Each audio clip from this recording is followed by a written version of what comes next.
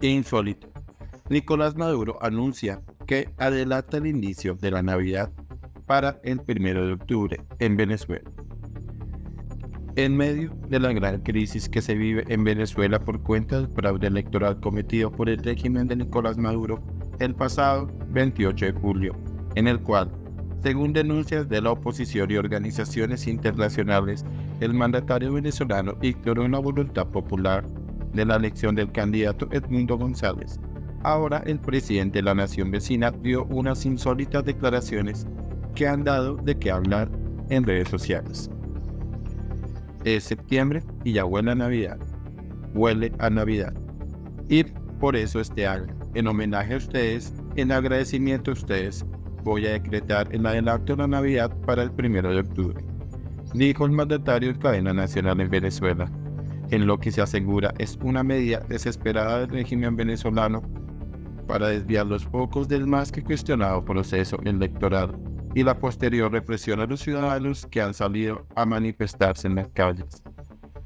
Con el programa Con Maduro Más, el mandatario dio un discurso en el que anunció el adelanto de la festividad en el país.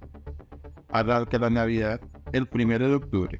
Para todos y todas llegó la Navidad, con paz, felicidad y seguridad, dijo Nicolás Maduro, quien sufre cientos de condenas internacionales por la persecución que han vivido los opositores en el país, intensificado por el proceso electoral fraudulento.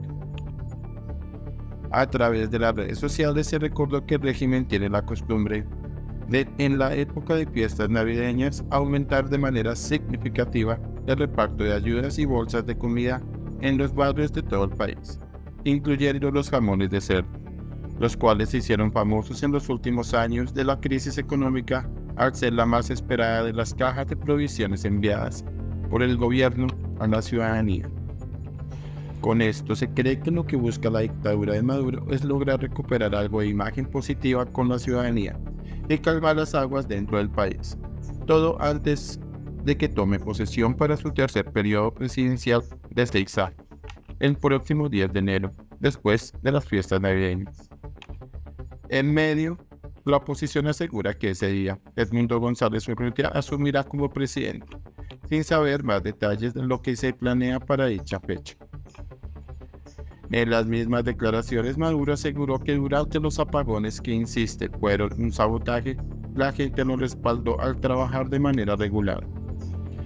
El pasado viernes 30 de agosto, durante el más fuerte ataque contra el sistema eléctrico nacional, el pueblo venezolano les dio una demostración hermosa a los fascistas y la gente salió. Fue a trabajar y nosotros desde el gobierno nacional a respaldarlos y garantizar la paz de la nación, dijo. Posteriormente, el mismo Nicolás Maduro aseguró que tras los hechos de los apagones, cuando se restableció el flujo de energía, él junto a su pareja se fueron de fiesta.